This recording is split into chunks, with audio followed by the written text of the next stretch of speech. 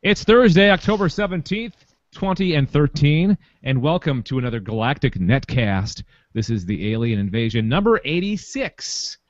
From Waterloo, Iowa, I'm Dave. Mr. Jameson Nelson joining me this evening from Wausau, Wisconsin is Brad, Professor Hennessy Ludwig, and Anessa Naya Mullins from Denton, Texas. Greetings, one and all. Greetings and salutations. Get What out of my are head. I was thinking that. the- what are the names from? Uh, they are from the Devil Girl from Mars movie that I let, me, am- let me let me let me let me guess. That is your pick tonight. Yes. you purposely watched it, or were, was it like uh, were your eyes like forced open, and you were tied down, and you were forced to watch it? well, this has become the BDSM show? What, have we have we switched formats and nobody told me? It's a Clockwork Orange show. Me without my fashionable rubber gear. I feel left out. that's okay. You've got rubber the tentacle gear. porn to look forward to. No, no, no spoilers. No spoilers. Sorry, sorry. Um, no, it just the amount of time that I had to find a pick, it fit perfectly. So, yeah, I came across it while browsing, and it's like, hmm, old cheesy sci-fi movie sounds good. Nothing beats it. All right. Nope. This is the show. This is the podcast. This is the program where we talk about uh, beings from elsewhere in the uh, vast galaxy, the universe, and their appearances in film, TV, video games, comic books, and in real life. This is the Alien Invasion podcast. Uh, the show is uh, sectioned off into three areas: the news, that uh, that's just what's happening this week. Uh, the creature feature, our spotlight of a certain kind of alien, and our picks for the week as we were just talking about with the Nesses. Uh, for our audio subscribers, if you want to see us record the show live on video, uh, follow us on Twitter, Facebook, and Google Plus. We'll alert you as to when that's going to go down.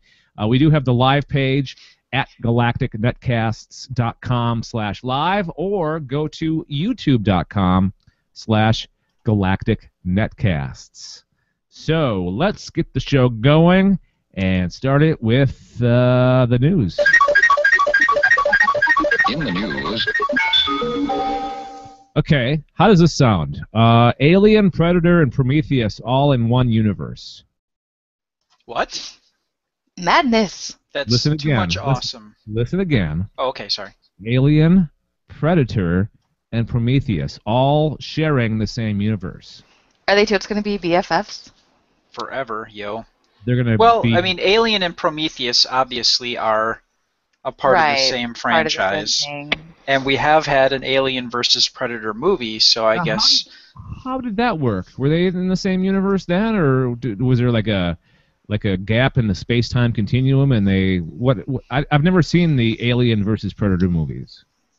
I Uh, that haven't seen Alien versus Predator either. Yeah, I haven't seen. I heard that the first one was crap. The second one was eh.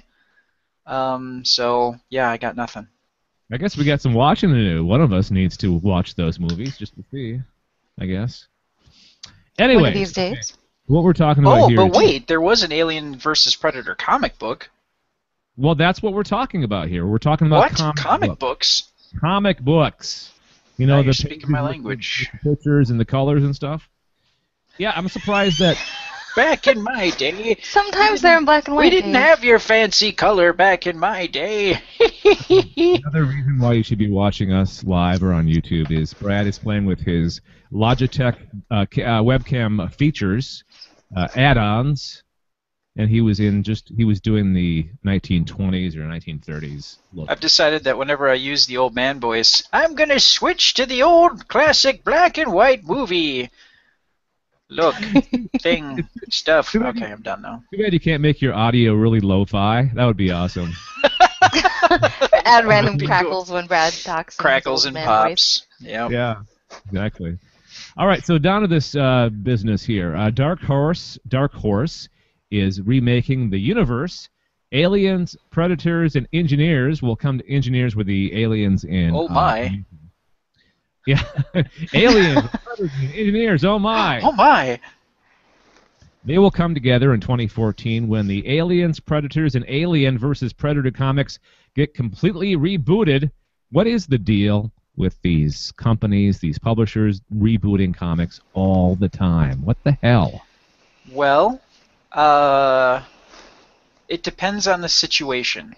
Uh, like in the case of of Alien uh, versus Predator in the comics, and I've I owned two of them, and uh, I sold them recently and gave the money to a charity. Uh, but Oh, oh, they weren't good enough for you, Brad? They weren't good enough for you anymore? You just sold them off? Okay, for those of you who are are watching the video, you're gonna vomit for a second, but that's uh, six thousand comic books that I have sitting behind me. So uh, yeah, I, I'm surprised I've kissed a girl, and uh, I, I have a lot of comic books. So it was time to get rid of them. I've kissed that girl, uh, and uh, I wanted to thin stuff out. And one of our state, ra- I work for a radio station group, and one of the stations was doing a uh, uh, rummage sale uh, for uh, a cancer charity, St. Jude's. So it was to help a good cause, and I wanted to get rid of comics. So there you go. So why did they why are they rebooting the Alien versus Oh Predator? yeah, I suppose to finish my tale, so this actually has context. Um, they may have set something up in the comic books which had history that had not been established. Uh, those comics were done in the early 90s, um, and they may have said, "Okay, this is some of the this is how the aliens were made," and if Prometheus changes that because now Oh. they've uh, established canon where the comic books were not, so they may have rebooted because of that reason, or uh, they may have just sucked and they decided to start fresh. See, I, didn't, I didn't know that the Alien versus Predator were comics before they were movies. Yes. Yep. Okay. Yes, sir. Because uh, Alien had the uh, Alien Dark Horse Comics had the rights to Aliens and Predator, and they went, "Hey, you got Predators on my Alien? No, you got pre- Aliens on my Predators." and they decided to make a comic book, Uh, and it delicious. was tasty. So Chris Roberson, writer for Alien, said they won't be doing anything directly related to Ripley and company, but the four movies are canon, and nothing he does will contradict them. Um, so that kind of feeds into what you were just talking about. Uh, there will be an entirely new cast of characters and move away from the militaristic vibe of the later movies and back to the horror tones of the original film. The four series are taking a writer's room approach and having the writers collaborate, which is cool. I love when they do that. Let's switch to uh, Brad's video here. Yep. So here is uh, some artwork that they've got. Definitely horror tones. I'm going to scroll back up towards the top, and here is uh, somebody in a room that is uh, lousy with aliens. Holy crap, yeah. yeah, there's a lot going on there. So All right. Looks good. There go. Looks very creepy. Just the artwork itself looks creepy. I was reminded today that the original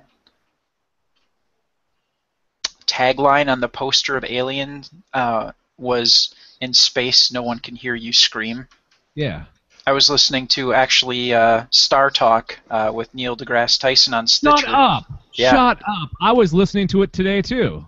Yep. And I was like I was about to say, "Oh my god, I heard that earlier as well." I feel left out because I listened to the Jodcast today. But, But you listened to you used Stitcher today though, didn't you? I did. Oh, and I Ah. listened to an episode of Night Welcome to Night Vale as well. I bet you you were Anyway. going to mention Stitcher later on in this show. That's a spoiler. not spoiling anything. We always talk about Stitcher. Absolutely. All right, so, So, back to what the else? story. What? What did I say? No, I was gonna say what else with the story? Like who else did they talk to? Oh, oh, uh, Paul Tobin, writer of Prometheus, says the focus of these seri- or this series will be on original char- char- characters as well, but the engineers will be back. What role the engineers will have remains to be seen.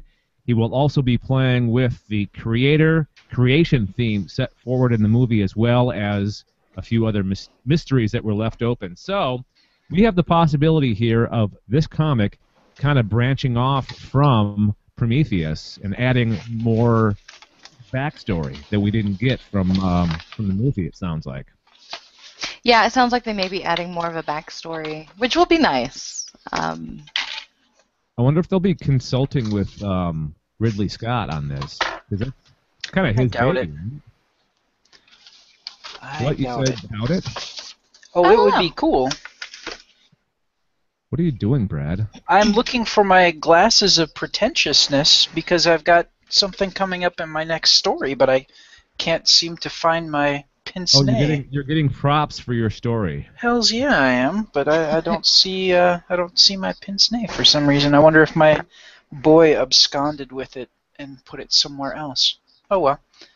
Okay, Yeah. so Chris Sebela, a writer for Alien versus Predator, on the other hand, are counting uh, the individual movies as canon, but is ignoring the two Alien versus Predator movies, as he thinks they exist in their own little bubble.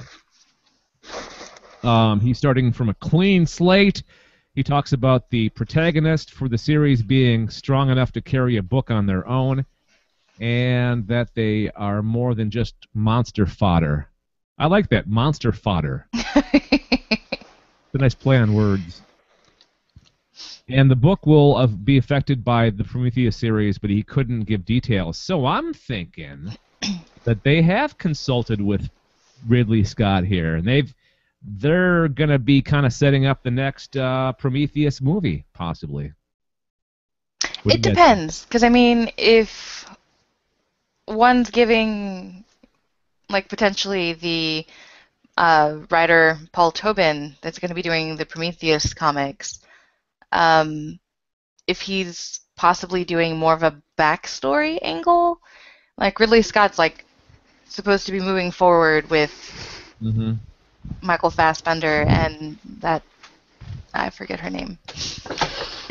that girl that was like flying off on her own. So that's kind Oh, of yeah. moving forward and one's Okay. going back. So I mean, they might have flashbacks that would correspond or coincide with what's being done in the comics, but I don't think they'll really touch on that too much. But you would almost have to. I'm distracted by what Brad's doing because every time the microphone picks up the on the Hangout, it just blanks. It's just his room, his his office. Sorry. He's got the mute button now. Okay. Um. What was what was I trying to say? Oh. Okay, uh, so they would kind of have to they would have to add content um, that wasn't revealed in the Prometheus movie if they're going to be doing backstory, right? Because they're going to be explaining some things that wasn't explained in the movie. Right, but I don't Yeah. think these things would really affect the movie too much as long as they already have an idea of where the story's gone so far, I guess. Okay. All right. So all they've really said is like these engineers came and you have like the guy falling into the water, spreading his genes and creating life on another planet. And so it might have like who knows, it could be about that guy and the moments that it led up to that particular moment in time. Yeah. So, I mean, you never really know how they go with that. It could be like on a broad scale or following a few characters before they expand to like another storyline or Yeah. something. They could. So- They could. They choose to reveal as little or as much as they want, and they they may choose to reveal very little. You know. Right. And I mean, it's kind of like with um, if you think about the Walking Dead series, you've got the TV show. Well, the comic is they're now kind of their separate things at this Yeah. point, but there's also a web series for The Walking Dead that doesn't tie into the show at all. Okay. So, I mean, you can have multiple things taking place in the same universe and even have like a backstory, but it doesn't affect what's going on now. Like the web series that I actually watched, um, I know that they've continued with other series for The Walking Dead online, and um, the one that I watched was basically in the first episode when Rick comes across this zombie that's laying there in the park with just like the torso up Yep. it's basically her story and how she ended up where she is Oh, now. Wow. Interesting. So That's fascinating. you never Okay. know; it could be something like that. Okay. Who knows? All right. The, either way, I would. I'm I'm on board with this. I'll actually probably buy this in some form or another. What do you think? Final thoughts, there, Brad. You're the, you're the comic guy. Give us I'm your all- cents here. I'm all for it. Firm believer in it. okay. I don't think that they're going to consult Ridley Scott though. I think that they would they would be because Ridley Scott has come right out and said, "I want this to be pretty. It doesn't necessarily have to be the best story." So he like when he did Prometheus, he actually cut whole bits out that actually explained whole portions of the film. That's dumb. that's that's where most of us. That's why most of us like films is for the story. Yeah, and that's why if you really want to understand Prometheus, you need to get the director's cut of it um, there- and watch that. Is there a director's cut? Yes, if you get oh. the if you get the Blu-ray, there's ex- Oh. a lot of extra material. Okay. So Cool. All right. So all four titles: Aliens, Predators, Aliens versus Predators, and Prometheus, are scheduled to come out in 2014 from Dark Horse. Now, I didn't realize reading this entire story that they were separate titles. I thought it was just like all one. But they're all. Oh, gonna be- no. they're gonna No, be- they're all separate. Okay, but they're going to be kind of crossing over in in different ways. I'm I'm guessing. yes, Okay. All right. Let's move on to our second story, and that is Anessa's. Woo! So I know people were devastated when the pre- the Peruvian Air Force uh, basically shut down their UFO investigation department. But good news, it's reopening. I got really drunk. I, I got really drunk the day I found out they closed it. Aw, That's a shame. you were that Dave broken up over it. away. He's like, what? You, you, you sons of bitches! You, closed this wonderful thing in the beer. I another beer. So yeah, um, the Peruvian Air Force, or I guess they, I'm surprised that they actually can afford an air force. I didn't think they made enough money as a country to to. to It's a couple of puddle jumpers. It's okay. People from Peru are gonna hear this and Yep, you, you have all of our Peruvian fans are turning this off. if you listen long enough to our feedback, you'll realize that we have a global audience. So we do have like it's amazing that there's Yeah. people listening to us, like not just on the other side of the country, like across the pond. Yeah. Yes, and hello to the wonderful Aussie family who's listening to us swear and curse the Peruvian Air Force and making fun of them. Okay, so Per- Peruvian. All right, so. The Peruvian Air Force, known as FAP, has Okay, I think you broke Brad just took off his headset. I think I broke him. Yeah. Good job. You get the points for the for the episode. Thank you, thank you, thank you. I'm sure it's actually I don't know what force is and so.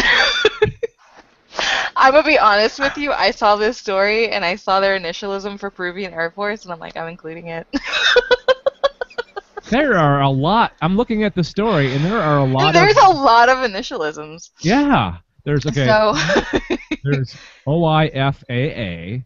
There's and D I N E A or then A E or Yeah. whatever, and yeah, it's crazy. So, um, so anyway, the uh, Peruvian Air Force has announced that it will reactivate their dormant UFO investigation department, known officially as the Office of Anomalous Aerial Phenomena Research, or OIFAA. I, OIFA! I was gonna say, or as I'm gonna call it now, is OIFA.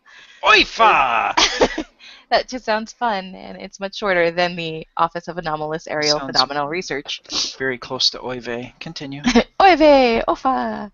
Um, the official announcement and relaunch ceremony will take place at an upcoming event held by the Peruvian Air Force's Directorate of Aerospace Interests, uh, DENI, or D-I-N-I-E.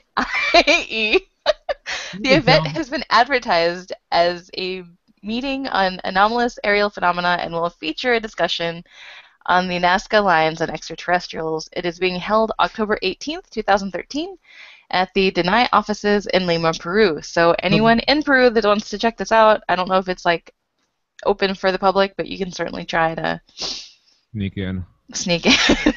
The Nazca lines. So those are, those are the ones that are like uh, they're in shapes that you can only see from high. right above. from above, right? Yeah. And I yeah. believe we probably talked about that in our second episode, maybe? I think you're right. back, in my in y'all's day, day. we talked about the Nazca lines back in probably the second episode of this show. I really need to go back and read, listen, Way or listen to y'all's episodes. so, um, OIFA was originally opened in 2001, but it was dormant, or it went dormant around 2005. OIFA's founders, retired FAP commander Julio Flores, occasionally reactivated the. I'm sorry, I'm seeing Brad laugh out of the corner of my screen. Um, anyway, so Julio Flores occasionally reactivated the department to investigate high-profile UFO sightings, and he's actually set to continue heading the department. Um, so yeah, it's like they they say that um, possible reasons why they're reopening this dormant investigation uh, in UFOs is apparently there's been a lot of UFO events, such as a popular sighting in La Molina and a recent sighting by officials in the jungle. So, yeah, um, the UFO researcher Scott uh, Corrales posted information that he had received from Peruvian colleges at his website, uh, saying, um, I guess his website's called Inexplicata, uh, the Journal of Hispanic Ufology. They claim the that FAP says the reopening is due to a response to the significant increase in claims and reports of anomalous aerial objects, commonly referred to as unidentified flying objects, in the skies over Peruvian territory. They also say that OIFA will be sponsored by Peru's National Commission for Aerospace, uh, CONIDA, or C O N I D A, and that OIFA will be made up of civilian personnel. So, I, I do think it's cool that other countries um, have actual departments or groups that will investigate, like official, they're legit, like they're officially investigating UFO sightings and reports. Yeah, because So- like like our like the U.S. hasn't had. We're like a these great big denial about everything. Yeah, we haven't. So it's been since the 1960s since we had anything. So and it's it's nice that they're just coming out and saying, look, we know we kind of quit things back in 2005, but that it's been really active lately, so we're going to go ahead and restart. And there you go. Like we're not hiding anything. We're going to be open about what it is that we're investigating. So I think that's really cool of Peru. It And the seems like Peruvian the government. the world- it seems like the rest of the world is very open to these things. You know, we're the U.S. is very like I don't know. It's weird. We're we're really shady about that sort of thing. Like Well, I think The part of it British government- because- yeah, like the British government's like, hey, look at all these documents on UFOs, and the U.S. is like, hey, look at all these documents about UFOs, and you can read five words because everything's blacked out. But I think part of it is, you know, like the um, some of our stealth planes have been UFOs, so I think that might be why we're shady and quiet about it. Because in some cases, it might actually be something that we're actually working on that is Yeah, I so fast that. and so stealthy that you know we don't want to necessarily call attention to it. We need to do look at the monkey, and then you know, It's a weather balloon. yeah, exactly. Look at the monkey. Look at the Look monkey. the that's the that's the distraction technique of. Yeah, you you saw this, but look at this monkey here, and he- Look how adorable it is. It's dancing It's playing the tambourine. and wearing a cute little bellhop Bez. costume. Yeah. Okay. All right, interesting. Uh, well, I applaud. The Great segue out of that. yes, that's, that's But you know what? People can contact us about our uh, crazy shenanigans uh, on our show. How do they do that? well, there's many ways, Brad. I'm glad that you brought that up. Uh, Thanks. you can email us. The email address is galacticnetcasts at gmail.com. You can also uh, send us a text via our text number, which also doubles as our voicemail number. Crazy. It is 805. I know, I don't know. It's weird how that works. 805 328 3966, or leave a comment on our website, galacticnetcasts.com. We would love to hear from you, positive or negative feedback. In fact, we have a little negative feedback later on. I think this is our first time ever that we've got actually gotten negative feedback. Ah, it's not negative. It's an It's of- opportunity. Okay. Yes, It's you're right. Constructive criticism. It's constructive criticism. yes. Like we always say, negative or positive, it's all helpful. So Exactly. If it Let- sucks, let us know. Sorry. Galactic, galacticnetcast at gmail.com. The voicemail number is 805 328 3966. And you can find all this contact information at galacticnetcast.com. All right, Bradley, uh, what do you got for us? Well, we're going to talk a little bit about famous people and UFOs. Bum, Dun bum, dun bum. dun. It that was creepy. Kind of cool. Hang on, hang on. Let's do that again. Okay? Do the headline one more time, Brad. Okay. UFOs and aliens. Famous people who believe in extraterrestrials. Okay. Huh? yeah, turn that tension right up. So uh, there have been stories about UFOs uh, that uh, celebrities and dignitaries, um, even uh, now former presidents who believe in them or have uh, witnessed UFO events. Um, and uh, somebody has comprised the list of the top 20 celebrities uh, and famous folks uh, who believe that they have seen a UFO. Okay, I'm going to jump in here real quick. hmm I've not looked at the story. Okay. I'm going to make a prediction as Okay. to what one of these celebrities are going to be. Okay, I'm just Okay. pulling, I'm just pulling it out. I just have a feeling. I have a feeling that one of these celebrities is Fran Drescher. You may be right. Okay. Or you may be crazy.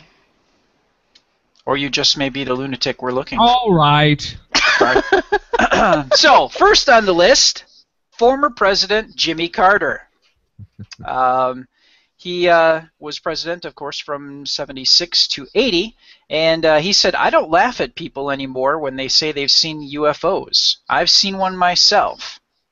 Uh, during his campaign, he promised that he will make all UFO related documents public. That didn't I think, happen. uh, what's that? That did not happen though. Probably not. Well, he probably got in there and tried, and they were like, no. Yeah. Yeah, you're the president, but you don't have all the power. You can't tell us to do this. I'm sure somebody went, uh, sir, sir, uh, no. uh, number two on our list here, Mikhail Gorbachev. Now, that's interesting because we had a story, oh, good lord, uh, a couple of months ago, I think, where uh, it said that Soviet dignitary, the president, or you know, the, whoever was the leader, uh, depending on what form of government they had at the time, got a briefcase filled with information uh, ab- about aliens, Hmm. supposedly. Do you remember that? Yes, I kind of do. Yes. Okay.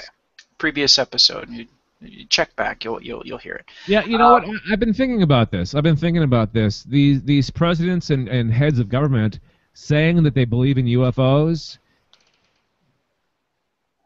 Uh, don't you think that they all have gotten? This is doing my doing the Dave Nelson dance. I just see hands, and I'm like, We need a gif of that. Them saying that they believe in UFOs and aliens is like me saying that I believe that radio waves exist. You know, it's like because I'm sure that they've all been briefed, right? you would think. don't. I, I kind of think about it like Independence Day. It's like a need to know basis, and unless you need to know, they don't tell you. Okay. But, but I'm as, sure somebody knows. But as president, wouldn't wouldn't that like be one of the first questions that you'd want to ask? Like, oh, by the way, where where are the aliens at? Wh- Depends on the president, I would think. First off, who needs that sort of story circulated by a former press secretary? The first thing he did when he walked through the door is show me the aliens. Uh, no, I, I think that that would be bad. Totally Um, running for president once I turn 35, and that's going to be my first question whenever I get elected. Bam. I'm done. So vote for me. Okay. Okay, who else? So uh, let's see. Uh, uh, the reason why I wanted to get my pince nez, uh, was uh, for Lord Hugh Caswell Tremenheere Dowding. Doubting. Britain Royal RAF Fighter Commander, Air Chief Marshal, First Baron Dowding, Hugh Caswell. You can't say that without having that Holy little- crap! How many names does he have? Well, he's a big he's a big dude here, and uh, he states that uh, I'm convinced that these objects, UFOs, do exist, and they are not manufactured by any nations on Earth. Ah, number five on the list, Fran Drescher. You were right. I knew it. Uh, she Okay. said that her and her ex-husband met because they had chips planted in their uh, bodies by by the aliens. Let me. Can I? Can I? Can I, can I explain? We. I, I believe that we talked about I think so. Drescher on a Yeah. previous episode. Yes. Boy, this is like old home week, isn't it? How? Uh, Elvis Presley is on the list. Of course, he was taking a lot of drugs, so I'm going to move on uh, to the next guy who took a lot of drugs, John Lennon. Um, he and uh, his girl, his then girlfriend May Pang, uh, allegedly saw a UFO. Uh, they were on the roof of his uh, penthouse, and uh, they saw it at close range. And it's even said that uh, before his death, Lennon allegedly received an egg-shaped object from alien visitors. Whoa. Now there is a uh, complete list of 20. We only gave you seven. There are 20 on the list. Well, we only gave you six. What? We skipped over Dr. Hermann Oberth. Oh yeah, we did. German German rocket engineer. See, dude, he's a rocket scientist. He should know. It is my thesis that flying saucers are real and that they are spaceships from another so. Wait, I'm sorry. It needs a German accent. Yeah, he does. Oh, he's he's, a a German German. rocket engineer. Come on, Brad, you can do it. It is Let's my offend thesis people. that flying saucers are real and that they are spaceships from another solar system. Yeah. Good job. Okay. So anyway, it's just German. Just seems like such an angry language when you hear it. You It say is. "I love you" in German, and you think you're going to get punched in the face. Anyway, uh, you could see the uh, entire article um, at uh, oh, good lord, uh, International Business Times. I believe that they're out of. Are they out of Australia. Australia? Yeah, they are. Yeah. AUIBtimes.com. All right, and another uh, shout out to our Australian fans that have Yeah. contacted us before. Yeah. Well, wasn't, wasn't Elvis Presley the one that uh, drank beer with Billy Carter on the White House roof? Wasn't that the story? Could be. He I was don't also know. out of his mind on drugs when he went to go talk to Nixon. Maybe that's it. I'm I'm mixing up my stories. Possibly. Yeah. I don't know. Billy Carter was uh, he was a party monster. Billy Beer. Billy I, Beer, I boom. Billy Beer can when I was collecting beer cans. That by the way, that was a that was a weird like. There was a time period where that was a thing, like collecting Oh, beer yeah. cans. Like back in the 1970s and 1980s, like Beer can collections were huge. yeah, I started one even. We used to uh, scour the ditches for beer cans. What? What, Anessa? No, I said I was too young. Oh yeah. Back in my day, we used to collect aluminum cans because they were great to look at, and some of them were tin, and you had to use a special device to open them up so you could drink your beer. All right. I Hmm. collected GI Joes. Did you? That's cool. I had GI Joes as a kid. Shut. Wow. That's That's awesome. very. It's very uh, non. Um, what's the word I'm Well, I mean, I also had Jem, so I mean, I wasn't like completely tomboyish, but growing up, I had, um, I would say the vast majority of like my friends were boys. Okay. so That's- I've always been one of the guys. Jem and the Rockers? What was, that, what was her band? Jem. Yeah, that's right. Jem and the Jem holograms. Jem and the Holograms. What was I thinking? I missed that. Huh? Yeah. I actually Hey. had one of the Misfits too, and it, and the dolls came with a little cassette tape that you could listen to their theme song. Yeah.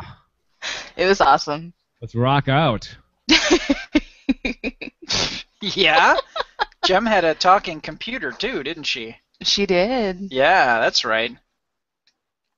Although for some reason I remember the lyrics to the Misfit song more than I do for Jem's theme song. The Misfits? You mean the band, the actual band, the Misfits? No. No, there was a rival band in the cartoon series called the Misfits, Okay. and like in the themes, the opening theme song, like it would be Jem, she's singing, and then all of a sudden, like the Misfits uh, come in and they've got like their big hair and crazy different colored makeup because it was the 80s, and um, Yeah. they would basically sing about how they are the Misfits and their songs are better, and they were gonna get Jem basically. So it wasn't it wasn't Glenn Danzig in the band, the Misfits? No, that would have made Oh. for a much different cartoon. Wasn't it? Um, Wasn't it Glenn Danzig? He was in that band, the Misfits, I think. I don't know. um, it sounds like I'm singing, so I would say yes because I have. I never actually paid attention to who was in the Misfits. I have some of the Misfit stuff, but Okay. that's who it sounds like to me. All right, let's move on. Uh, that was the news. Thank you very much, guys. Um, before we move on to the creature feature, let us let us thank our our first sponsor. It is Audible.com. If you like books but don't have time to sit down and read one, if you're too busy in the car or in the gym, or you know, if you spend a lot of time with headphones in your ears, ear earbuds in your ears, then maybe you should subscribe to audible.com and they are offering you a free 30-day trial you dear listener free 30-day trial to give you the chance to check out their service and one free audiobook and we have had Now, okay sorry. before you do your pick, maybe we should say if our Australian family friends are listening, maybe they should skip over this particular pick that Dave has found, this little treasure from audible.com. Because apparently, was it, they were from Australia, right? Where they sit around and listen? yeah yeah everything Whole off? family Yes. listens. Yeah. Like the whole family listens, and this particular thing is not exactly kid friendly. Oh, it's not kid friendly. what i At will all. do what i will do is i will try to censor myself a bit here but if you guys are worried you're the australian family if you're worried then turn us down or skip ahead or what you get whatever you got to do skip ahead like three minutes and you'll be fine all right so uh, i had i couldn't pass this up i saw it i'm like okay we've had pornographic books before at least one before so It was a short story and it wasn't very detailed. it wasn't a short story it was a full-fledged audible book Oh, was it? yeah Oh, I don't remember that one. Maybe yeah I like What are you spaced talking or about? something. I was talking about my pick from John Scalzi, oh i didn't know the alien sex story, How I Mm. Proposed to My Wife. that's right i remember that now okay This is uh, a book called Alien Sex Slave 3. So, this is a collection of similar books, all called Alien Sex Slave. It's the Alien Sex Slave series. this is the third one, and there's tentacles in there somewhere. Yes, it's Alien Sex Slave 3 Breeding Tentacle Invasion. Again, Breeding Tentacle Invasion. Okay, so, so- if you're into hentai, this is the book for you. Yeah, yeah, yeah. Okay, so here's a brief synopsis, and I'm going to try to be clean about this as much as I can. After being abducted, life is a peaceful. Okay. After being abducted, beep and beep, life is peaceful for Alice on her new home, the alien planet Grios. The aliens had accepted her into their society at her request. The only condition was that she had to cater to the alien men's every sexual desire in exchange for a new peaceful life. Much to everyone's surprise, another group of aggressive space creatures moves in for an attack. Alice is then taken hostage and held for ransom by this new race of tentacle clad aliens. Now she has a whole new mission survive the alien tentacle invasion and escape their sticky clutches. You can only you can kind of imagine, not really imagine. You can kind of guess where this story's gonna go. Yes. Tentacles. I mean, come on. Tentacle porn for the win. Yeah. So uh, if, if you're into this kind of thing, try this as your pick, or you know, feel free to browse Audible.com. There's plenty of other books that you can try for free with the thir- the three the free 30-day trial. And uh, what we want you to do is go to audibletrial.com slash galactic netcasts. Use that URL, please. audibletrial.com slash galactic netcasts. That shows Audible that we're sending people their way. So if you're if you're interested, use that URL, and uh, I'm sure that you will enjoy at least 30 days. If you like it after that, then uh, you might become a subscriber to audible.com. All right. See, that wasn't that bad. Come on. No, did- it wasn't that bad. Did good. All right. I think it was mainly like the first sentence that was the worst. Yeah, see, I beat that out. All right, here we go. And now it's time for Creature Feature.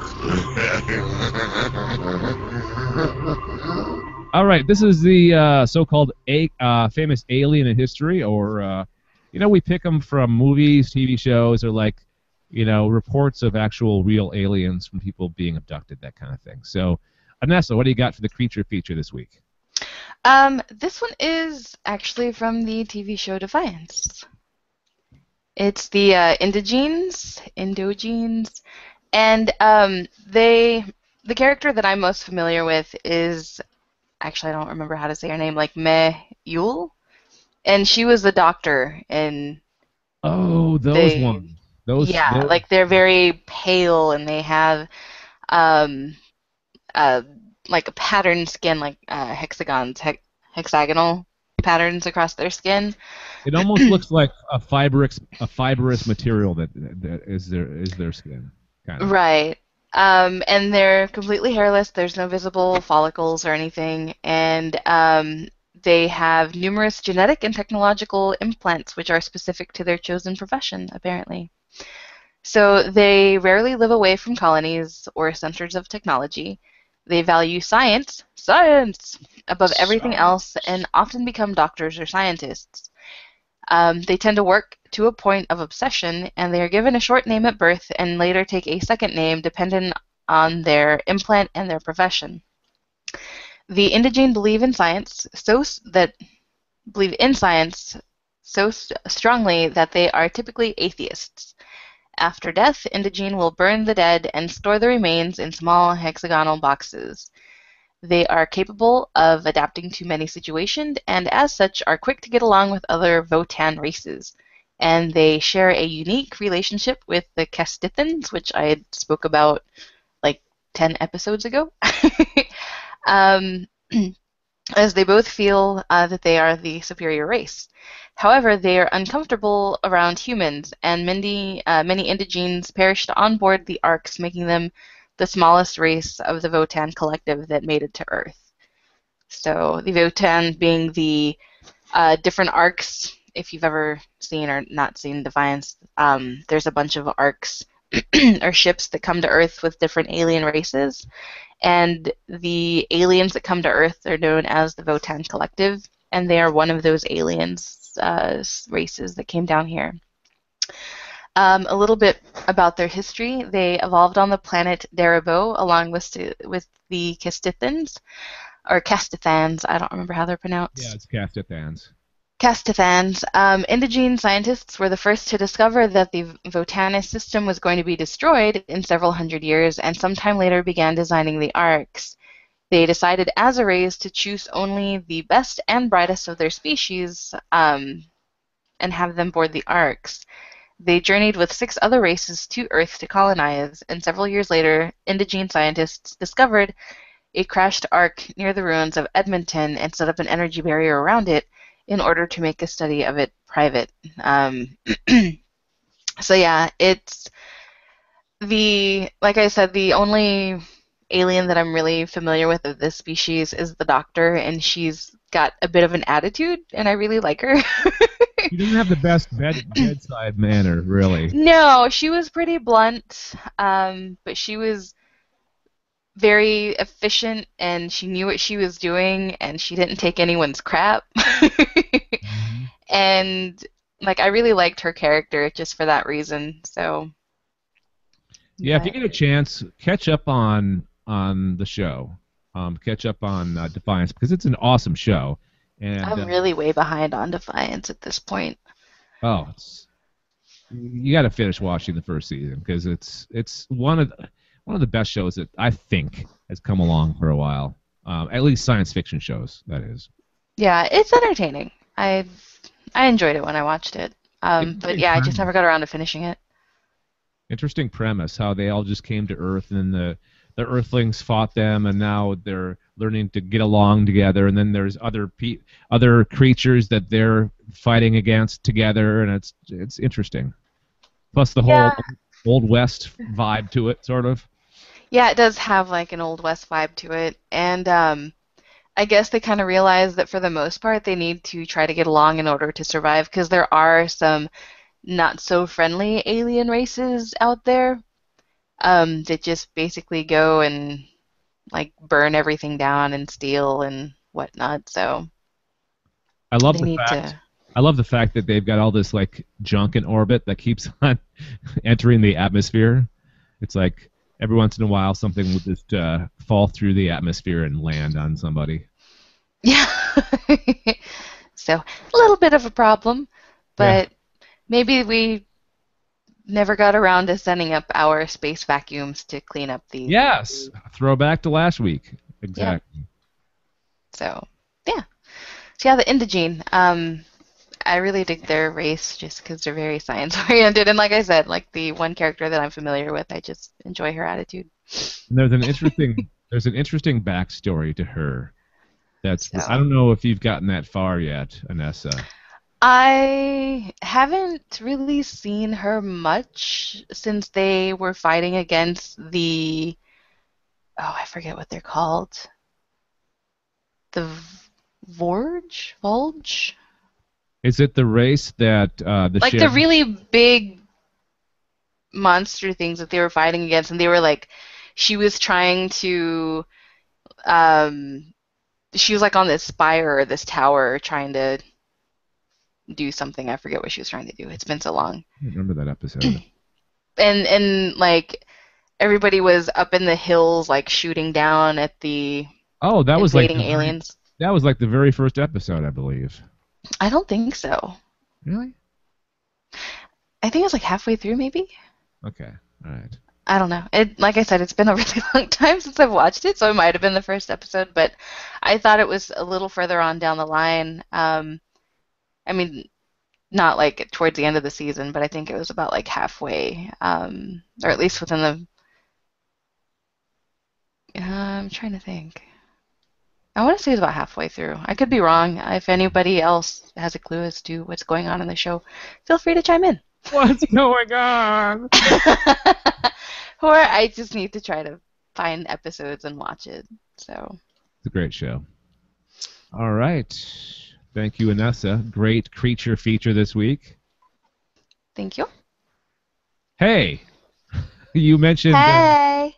you mentioned Stitcher earlier, um, and they are our second sponsor of this podcast, Stitcher Smart Radio. It's a great way to listen to uh, podcasts and other audio uh, because it's like an app that you install on your device, and you don't necessarily have to hook up to like iTunes or download anything. If as long as you have an internet connection, you can stream the shows through Stitcher Smart Radio.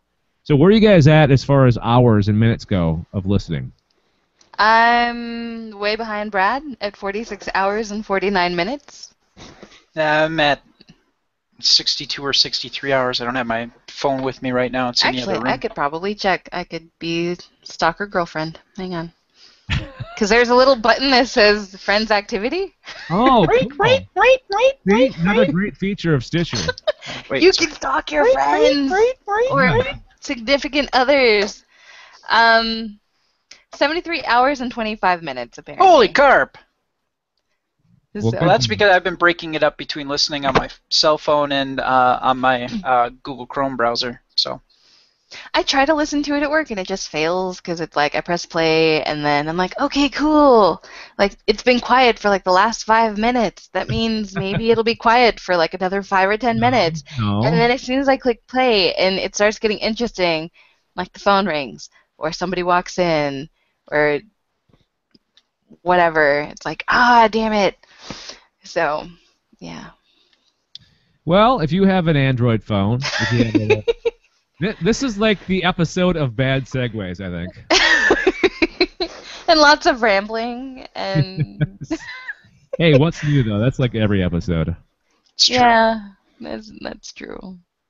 Uh, you can listen to uh, Stitcher on your iPhone, on your uh, on your Android phone, uh, on your tablets, whatever device that you may have. They have an app for it, and uh, you can go to Stitcher.com/slash Galactic Netcasts, and then enter the promo code Galactic Netcast. And this is just like Audible. We're sending people, we're sending you to that URL, so it shows Stitcher that we're sending people like you to that URL. So again, Stitcher.com slash Galactic Netcasts. Enter the promo code Galactic Netcasts and uh, listen to our shows. Listen to uh, similar shows to ours. There's actually a smart station feature, which uh, Stitcher kind of looks at what you're listening to and uh, makes recommendations. And uh, also uh, the news updates. If you're if you have that on your setting as turned on, you will get news updates for breaking news. They will send little pieces of audio down, and you can be caught up on uh, if the if the government is or not uh, open today. What what crazy thing did Eric Cantor do this week? Um, so there you go. That is uh, Stitcher Smart Radio. We thank them for their support of uh, the Alien Invasion podcast. Woo! Whoop whoop. All right, final section. Oh, not final section. We also have feedback, but this is the second to final uh, f- section of the show. Uh, this is our picks, things that we've watched, listened to, uh, read, played. Uh, what else could there be? Smelled. Smelled? Sure, why not? No. No? Okay. All right. That would be weird. Centovision. All right, so Well- my pick this week is the White Mountain Abduction. Does that sound familiar to any of you guys? I was totally there. You, really? No, it is not. No, I, I have read about uh, Betty and Barney Hill. Um, and I think we actually mentioned them. Um, We've mentioned them a I- few times. yeah, I want to say that we've mentioned them before. So Yeah. Yeah, a few episodes ago. This is a this is a uh, short documentary. I believe it's just an excerpt, ex excerpt. Uh, uh, Excerpt. Excerpt. Yeah, Oh yeah, we mentioned them whenever I was talking about the neonates because apparently Yes, it was the neonates that abducted them. Oh yeah, the like- ones that look like the Greys but not. But yeah, not really. The Greys keep getting all the credit. They have the I eyes, know the neonates are really frustrating. Curse you, Greys! they have the eyes that Brad hates. oh, creepy human eyes. Yeah. Oh, Yeah. that ain't right. So anyway, Okay, so what's this this is a documentary, and it was a part of a larger documentary. But I got the feeling that I got pretty much the whole story out of it, so I was satisfied. Half hour long, and basically, uh, what happened to Barney and Betty Hill on the night of September 19th, 1961. Their niece investigates the world's most famous case of alien abduction. With the help of renowned ufologist and physicist Stanton Friedman, uh, the short film takes a look at what happened the night, that night, and the lasting repercussions. For example, Barney turned into an alcoholic because of what happened. They were they were like upstanding citizens. They were involved in the community. Uh, not many people had a problem with her being white and him being African American. Um, they were they were involved with causes in their community. Both uh, uh, were very smart people, and and it seemed like this incident really messed, really effed them up for life. After this, um, what was some of the highlights of this? Oh, did you guys know that they both went under hypnosis?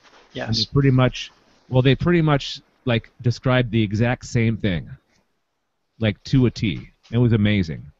and it's scary to listen. Like on this documentary, they actually played some of the tape back from when Barney was actually Barney and Betty were both hypnotized, but Barney he's freaking out, and it just it's like it gives you kind of like the shivers a little bit, like, oh my God, that's somebody that's really like totally afraid of what's going on right now.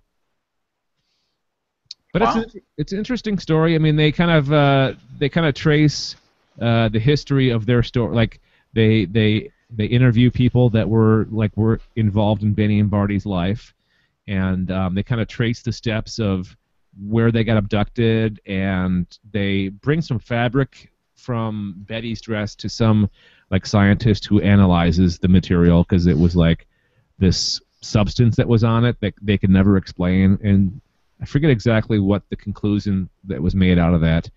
Um, and also, oh, they were out on the site where they supposedly got abducted, and uh, this niece of Benny and Barney Hills and Stanton Friedman actually had um, a sighting when they were filming. There was uh, unexplained lights in the sky that were reported all over the area that night. That and they showed it on film. It was pretty cool.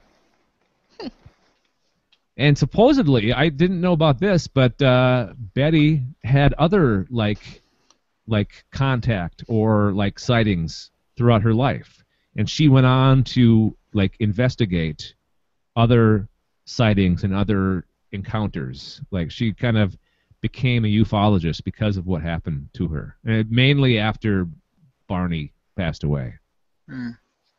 So Yeah, he, he was pretty traumatized and yeah, it sounds like he had PS, PTSD.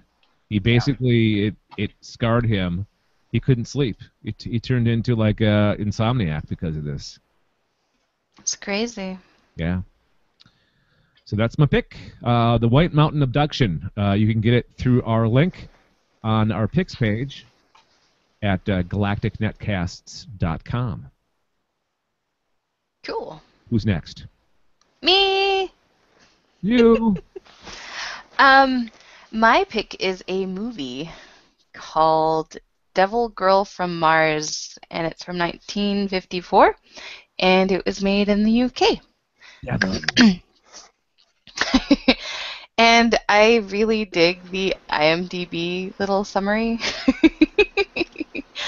um, that they include. It says an uptight, leather-clad female alien armed with a ray gun and accompanied by a menacing robot comes to Earth to collect men uh, as breeding stock. Yes. Sign me up. She was really uptight, though. oh, okay. ridiculously so. Um, so yeah, the the alien uh, Nyah is a commander from Mars, and she was actually on her way to London to snatch up some Earthmen, and she ended up.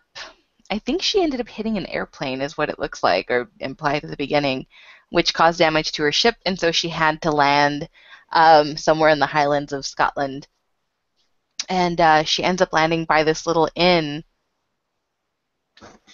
um, where that's basically closed for the winter. But there's this scientist, uh, Professor Hennessy, who's um, actually being sent out to investigate a previous sighting of a meteor, which is later uh, pretty much concluded that it was a chunk of her ship that like fell off before she landed.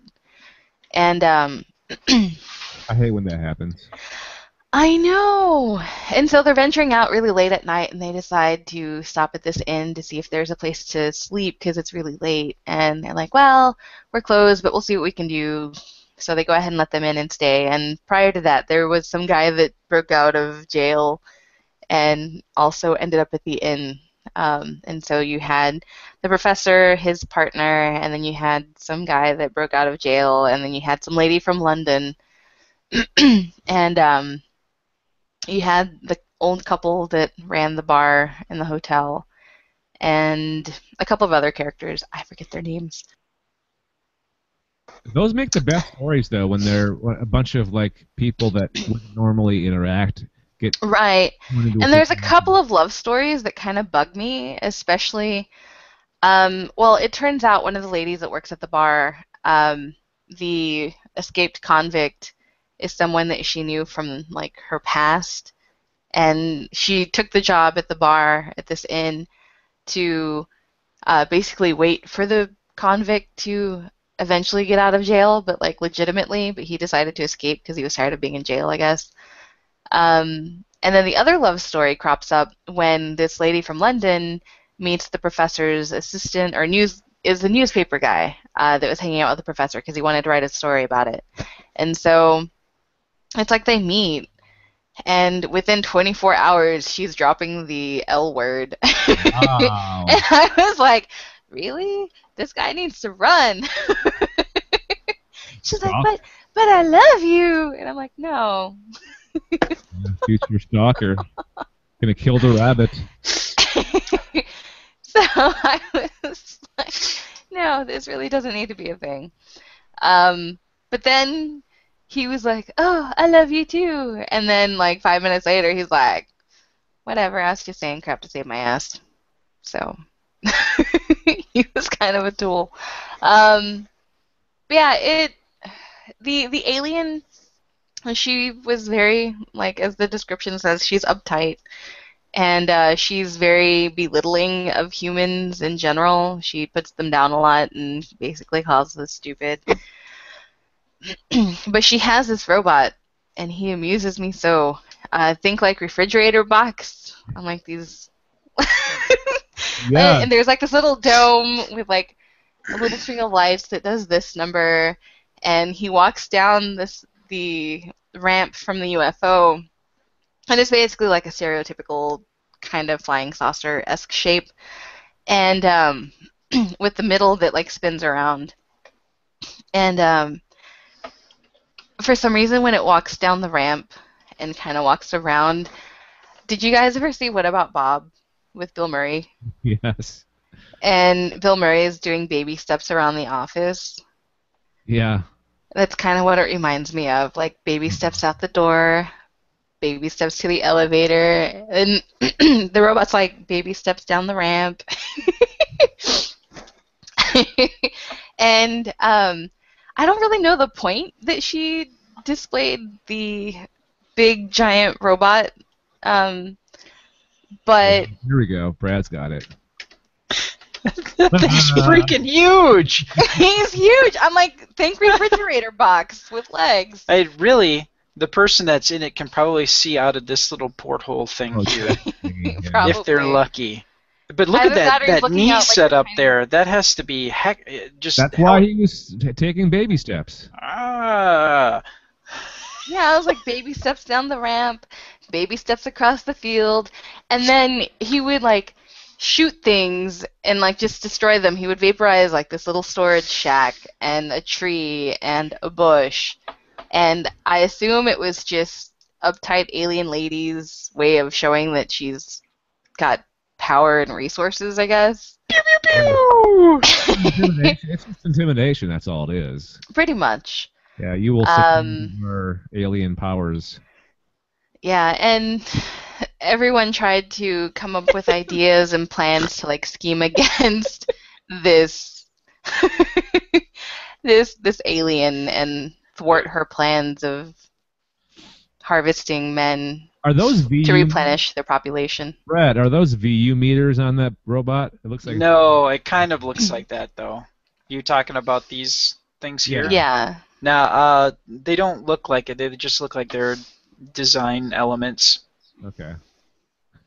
So That's a pretty epic robot. Yeah, and I'm pretty sure they had to have um like the guy inside the refrigerator box had to have levers because like the arm raised really slowly so he could shoot things and then like put his arm back slowly. So I'm sure they had like a little lever that they swung or lever. Um, but yeah, they they had levers inside that they probably had to move around. But um, Did did yeah. okay? Did I have a question? Did the uptight leather-clad female alien talk with a British accent? Actually, I don't remember what accent she used because they had like British and Scottish and I guess American or Canadian or something like. Um, Canadian? I'm like, I don't know. They sound like Americans. Eh? The news yeah, reporter. did they end everything with A? That's usually, or, or say a boat. W- Were they really nice? Uh, no, it was actually the jerk, so he's probably American. Um, Did they say we're not American? I don't remember apolo- saying that we were they American or not. Did they apologize a lot? No. I, like I said, he was a jerk, so he's probably American. That's true. So, Frickin' Um, Americans. I know, but I lost my train of thought. Yeah, damn it, Brad. Why did you make her lose her train of thought? I do that all the time. So, um, do do do do do. So yeah, um, the the main reason why she's coming, I think I've already mentioned, to Earth, is to basically gather up a bunch of men to help replace the dying male population on Mars. Okay. and um, the science the scientist or the professor really wants to get on the spaceship and see how things work. And so she kind of comes inside and tells him about like her awesome technology. And then she like kicks him off the ship. But he's wanting to go with her. He's like well you need a guy to take you to london and do this this and that. And so she's like yes i do need a guide. And then she decides she's going to try to choose someone from the group. And like the scientist's initial plan was to try to destroy the ship like once inside but Hmm. he didn't get to go. Spoilers.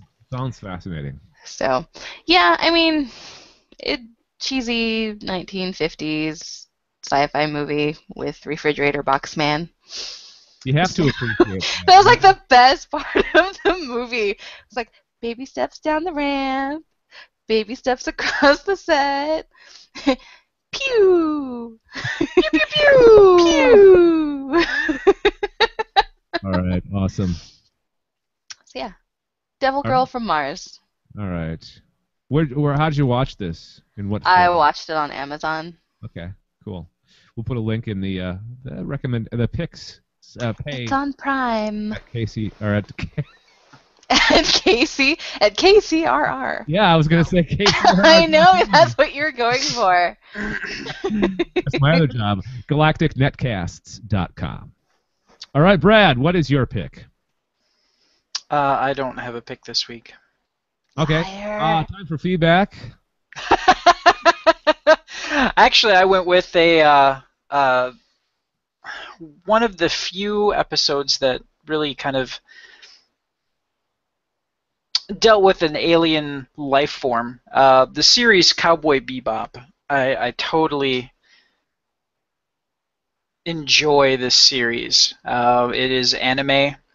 Uh, it is a just a, a really well done story. And one episode in particular um, is the only one that I can. Thinking back through everything, it's the only one that deals with an alien life form. And that uh, they didn't have episodes, they were called sessions.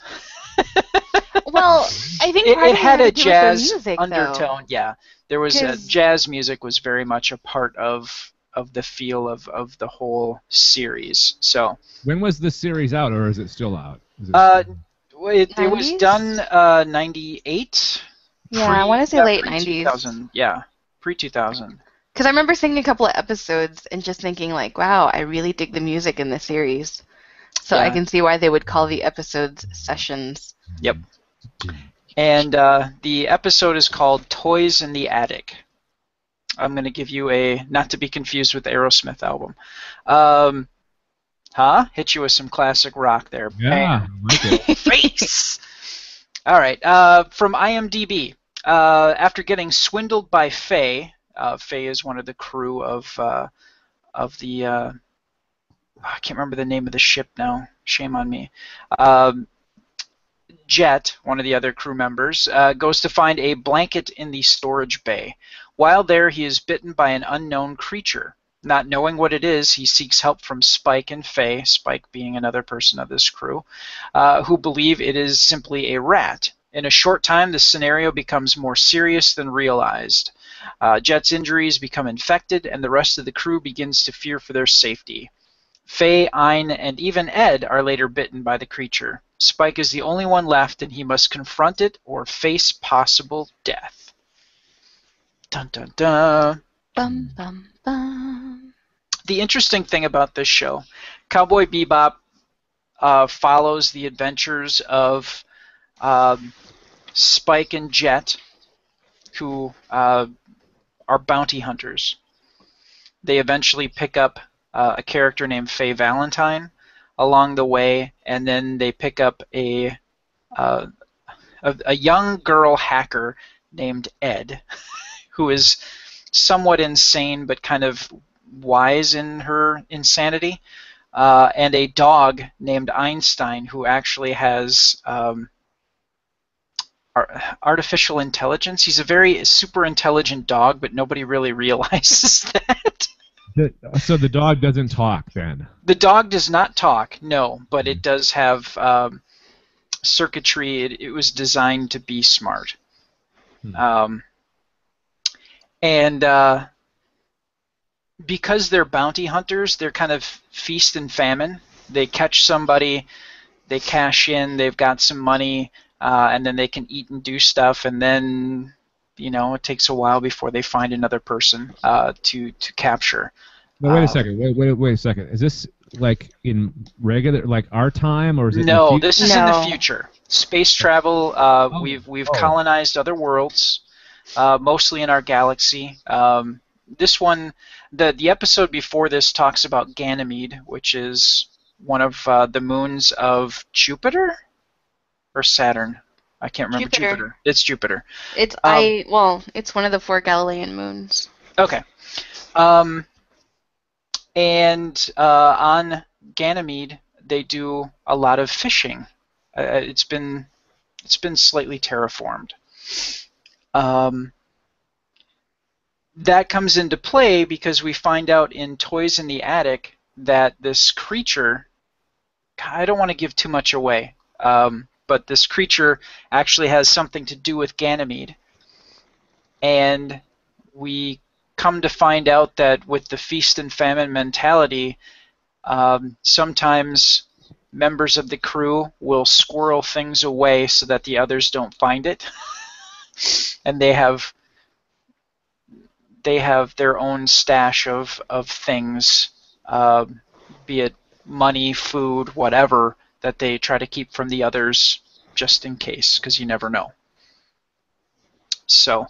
Um, and this this creature uh, is actually from a forgotten bit of bounty, uh, this squirreled away stuff that uh, Spike has has has put uh, in a safe place and has forgotten about. Hmm. So he accidentally creates life, is what it boils down to. So the humans are out in the galaxy colonizing planets. They never run into actual alien life. It's all just human beings out there. Yes. Hmm. I don't like the sound of that. I want aliens. Well, it's all- kind of like Serenity. Okay, yeah, yeah, yeah. Okay. Got it. Um, so that that's um, obviously it came out many years before Serenity, but um, it uh, very much deals with the name Cowboy Bebop, um, a fas- fascination, a Japanese fascination with parts of American culture, uh, music. Um, the Seatbelts is the name of the group that uh, does the music for the show, and they actually uh, mimic a lot of different styles of music, of American music, be it blues, jazz, um, and things like that. And the cowboy portion comes from them being bounty hunters. Okay. So, uh, a, a wonderful. There's a there's a number of episodes, and then they did a movie um, called "Knocking on Heaven's Door," uh, which was really kind of trippy and very interesting tale uh, that kind of fits into the universe. Do they have a lot of their titles uh, based on rock songs and album title or album titles? Um, you know, that's a very good question. I would have to take a look real quick. Because Stairway to Heaven, Toys in the Attic.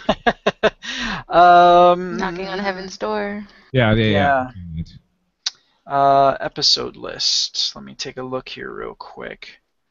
Gotta hope I'm right. Uh, no Asteroid Blues, uh, Honky Tonk Women. Yeah. Um, Sympathy for the Devil. wow, that's cool. Uh, Toys in the Attic, which I mentioned before. Bohemian Rhapsody. Wow. Black Dog Serenade could be a tip of the hat to Led Zeppelin. Yeah. Wild Horses. Rolling Stones. Uh, Hard Luck Woman. I forget who that was. Uh, yeah, that's all I can see here. They actually, the, the music was such a part of it that the Seatbelts actually released a number of Cowboy Bebop uh, CDs. Um, I think like four or five volumes, uh, and it's just, uh, and I I have them, and they're just wonderful to listen to because they they jump around in different styles, and they just just master it. It's beautiful, beautiful to listen to. So um. I, I might have to watch this. it's it is anime, but it is really good anime, and you it's very much character driven.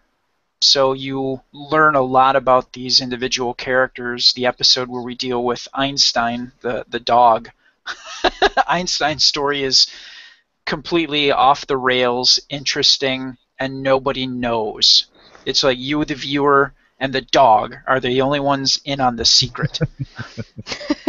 and it's just fascinating. And they have one episode that is amazingly disturbing. Um, and it is uh, Pierre Lafaux.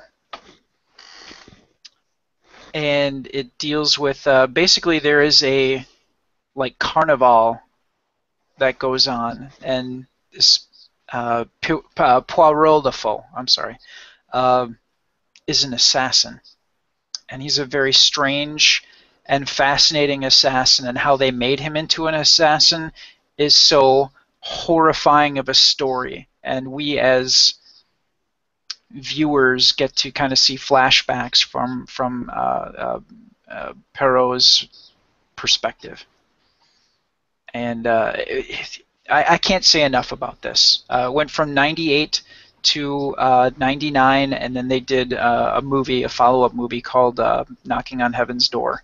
Um, if you get the chance, uh, find it, watch it. It's Where did you watch this? um, I had a friend that uh, had the series and uh, permanently lent me them, but you can purchase them. Um, they are uh, definitely available for purchase. I'm gonna look at Amazon real quick. And actually, I I lost one one of my three volumes, so I need to I need to purchase them. Yeah, it looks like Amazon has them, so we will have them on the picks page at galacticnetcast.com. It looks like you can get it in DVD, Blu-ray, Universal Media Disc, and VHS. So, Yeah, it was it was such a huge sensation um, that it, it went international. Yeah, it's Mhm. it's well done, well written. Uh, the animation is not crappy by any stretch of the imagination. The cinematography is well worthy of any director uh, of live action stuff today. It's just top notch anime, top notch. Can't say enough about it. So there you go. That is Alright. my pick. The episode session 11, Toys in the Attic. great picks, everybody. We had uh, Cowboy Bebop. We had Devil Girls, Devil, Devil Girl from Mars, and uh, the White Mountain Abduction. All right. Um, like I keep on saying, we have a picks page at galacticnetcast.com, galacticnetcasts.com, in which you can uh, order this stuff through, and then uh, you help out us financially in a small, small way whenever you do that. So go ahead and uh, feel free to uh, browse, peruse the picks page, and uh, maybe order something and to help out the network. That would be awesome. You can also follow us on Twitter You can circle us on Google Plus and like us on Facebook. Uh, we're all over the place on the social networks. Of course, please subscribe uh, via iTunes, via Stitcher, via any kind of pod uh, podcast catcher that you have on your device or on your computer. You can go to uh, galacticnetcasts.com and just find our episodes there as well. All right, before we wrap up, we have a bunch of feedback this week. Woohoo! Sweet. Yeah. So uh, let's start with the most constructive feedback from Jeff. Uh, he says, Hey guys, Jeff from California. Love the show a lot. I mean, a lot. He capitalizes a lot. Okay? But please, please, please, way less Doctor Who talk. I am not a Doctor Who. F- I'm not a Doctor fan, and sometimes the show becomes almost a Doctor Who podcast, or as he said it, Doctor Podcast. Uh, just one guy's opinion. Well, we appreciate your opinion, Jeff. Uh, keep up the great entertainment you provide. He ends with that. Sometimes you. we just can't help it, Jeff. We will. Okay. it's we- kind of the same way in time traveling robots in space. Okay, and and coming off last week last week's episodes, I can see where that would be frustrating because we had the same story on two shows. yeah, that's very true. If- Heavy if- saturation on the Doctor Who last week. Yeah, if he was listening to both our shows last week, I'm, s- I can see how he got frustrated with the Doctor Who talk. we just can't help it. But uh, for for Who fans, it was really, really kind of a big deal. Yeah, Uh, so we'll try to we'll try to whenever it's ap- appropriate, we'll talk about Doctor Who, but we'll we won't go out of our way to talk about it. All right, so our so next thank you, Jeff. yeah. Yes, thank you very much. Thank you for listening. Thank you for l- letting us know, uh, reaching out to us, giving us feedback. We appreciate it. All right, so the next one, that was an email. The next piece of feedback came to us from Stephen Gary Bailey on Facebook. He liked our Facebook page, and he wrote this Hi, I'm Steve from the UK. I listen to Alien Invasion and Time Traveling Robots in Space on Stitcher. Thank you, Steve. Uh, Stephen, uh, great shows. I listen every week. By the way, my Stitcher usage is now up to 1,312 hours. yeah. I've got a We're ways only- to go. Yeah, you're like 900 some odd hours behind. Slacking there, Brad. Yeah, Come I, on. I need to I need to step it up. And then he, he wrote back, he, he made another comment on his first comment. I clean a lot. I got four kids. LOL. I bet you you do. so the kids running around being crazy. He's got his head. For for kids, you need something to listen to, like keep you sane, probably sometimes. Yeah. He tells, he tells his wife, "Yeah, I got more cleaning to do. I'll I'll be vacuuming with that." Headphones on. the cleanest. Didn't you it's just? the cleanest flat in the UK. He's brilliant. All right, and finally, um, we just got this like today. Uh, this is from Big John QLD. I don't know what that is short for, or if- Queensland, Australia. oh, okay. Bam! Thank you. You're you're awesome, Brad. Uh, that's that's that's my guess, but I, I think I'm right. Okay, Big I'm John, sure you're right. Queensland, Australia here. Uh, like your work, I'm a long way from Melbourne, but I never heard of sheep being dropped from UFOs on ABC Radio News. and I think he's referring to a story that we had a while ago of the, from the Gu- the Gu- it was a Guten story, right? Yes, it was a Guten story that. Well, I don't think we officially did the story. I think I referenced it. Okay. I think I was like in Alaska or something when it happened. Oh, and yeah, okay. I did a story, and then the story that I prepped made reference to these sheep and stuff being dropped. And I'm wondering if Big John from Queensland, Australia, is the same person that friend requested me on Facebook the other day. oh yeah. So if it is, I have a new friend on Facebook. Hi, John. John, welcome, welcome to the world of Anessa. and he well he he befriended Brad first at some point because I told Brad. yeah, she's like, "Do you know this guy?" And I'm like, "Ah, I know that we've gotten some friends from Australia recently, but I'm not sure." And then she did all the stalker legwork and looked through my uh, list of friends. I didn't do the stalker legwork. If you click on somebody, it says who their mutual friends oh are. yeah, yeah, yeah, yeah. Okay, Thank so you very much. mild stalking. Mild stalking. I don't mind. I'm, You're my I'm not that it's cool. crazy. not like I, I'm I'm not like overly attached Really? girlfriend. It's like Oh. so Google Maps says it takes you like 10 minutes to get from work to home, and you took 13. Who is she? No, that does not happen. No, that's not me. Like, uh, Anessa, open your eyes really. Take your glasses off and open your eyes really wide. Ah! Do it again. Do it again. Do, whoa, do it again.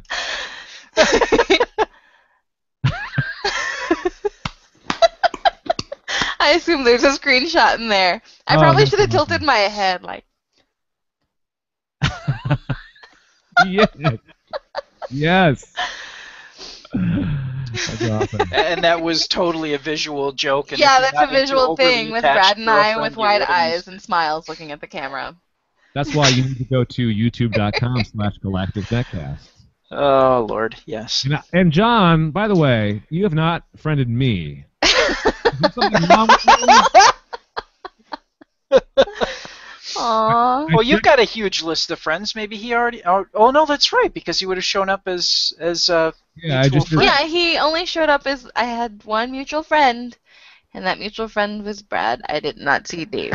yeah, well, you're checked- the you're the boss, so maybe he's intimidated by you. Yeah. Maybe. yeah, John, Friend me. talking about you. well, thanks to uh, Jeff, Yeah, Stephen, and uh, John for taking the time to to give us some feedback. Really appreciate it. Hell yeah, I love Oh, getting yeah. feedback. It's Uh, always wild to especially hear people from all Yeah. over. UK, Australia. The other side of the planet. the other side of the planet, the other side of the continent. We need to get somebody from Peru now to to correct us on their air force. Yeah. that. All right, so our voicemail number is 805-328-3966. If you care to leave a message there, you can uh, email us, galacticnetcasts at gmail.com. So that's going to do it for this Alien Invasion podcast number 86. Final thoughts? Uh, Thor is coming out in When's just a little Couple bit. weeks. Uh, yeah, November November eighth, seventh. Yeah. Okay. We have Thor coming out. We have uh, Ender's Game coming out. I assume Yes. it's probably a midnight release. And maybe it is November 8th. I want to say 7th, though. I'm excited. I'm definitely going to see Ender's Game. Yes. I want I to need see. to read that book. Y- you really do. Um, I, I really want to because I- I've read the book a while ago, and I really want to see how. There's some rough stuff in the book. I think we've talked about that before, and I'd like to see how how they allude to it or touch on it in, in the film. Yeah, there's some deep there's some deep issues going on in that book. Yeah, very very deep. Yeah. His his psychotic brother. Oh my god. Yeah. Well, I mean, it, it kind of asks the question: How far do we go tinkering with mankind, and how far do we go to defend ourselves from an attack? And how much responsibility should a little child have? Cool. All right, Anessa, what's your final thought? Um, actually, I this just popped in my head, but I had dinner with one of my friends who's also a TA for the physics department, and he asked me, he was like, "Oh, so what are you guys going to talk about on the show?" And so I was telling him about the stories, and then I told him about your recommendation for Audible, and he was like, "Ryan's rule." All podcasts eventually lead to tentacle porn. well, I think we know what the title of this ep- this episode is. Oh, it's no tentacle porn, but it'll do. Yes.